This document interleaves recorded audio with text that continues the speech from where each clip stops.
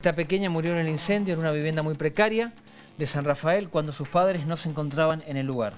Ocurrió poco antes de las 14 de ayer, cuando el llamado al 911 alertó sobre el incendio desarrollándose en una vivienda sobre ruta 143 y Eduardo Martínez. Personal policial y de bomberos logró sofocar las llamas. De acuerdo a las primeras pericias, la pequeña de nombre Guadalupe Singuri estaba sentada en la silla de comer y murió calcinada.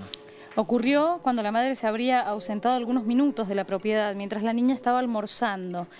La gente del servicio de emergencias debió asistir a la mujer que presentó una crisis nerviosa. Al parecer, un cortocircuito en una conexión clandestina provocó las primeras llamas que rápidamente se propagaron por toda la vivienda. Em, en tanto que los papás fueron llevados a la comisaría, allí se les iba a tomar toda la declaración informativa. Eh, para después determinar si son en este caso solo testigos o reciben alguna imputación. Vamos a escuchar a Claudio Esquivel, jefe de bomberos del departamento sureño, contando el trabajo que realizaron en el lugar. Al arribo del personal policial, bueno, fueron los primeros en arribar y bueno, rompieron una pared para ingresar a ver si podían rescatar a la persona, al niño, la niña en este caso.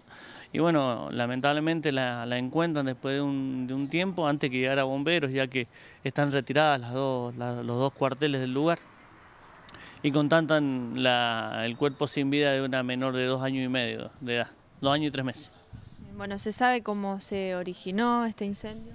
Eso está sujeto a toda la investigación que hicimos en el lugar, los elementos que, recabamos para, para la pericia que le vamos a, enviar al tribunal interviniente. Lo que sí, bueno, por lo que dan las, primeras, las primeras pruebas, que no sería intencional, sería accidental el hecho.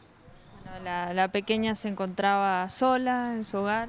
Sí, en ese momento ha estado por lapso corto de tiempo, por lo que nos explicaban los familiares, sola en el lugar y bueno, al, sentir los abuelos que vienen al lado una explosión, se dan cuenta de que, bueno, que, el, inmueble está ganado por las llamas y eso es lo que ha ocasionado que a, que a la menor esta le, le costara la vida. ¿no?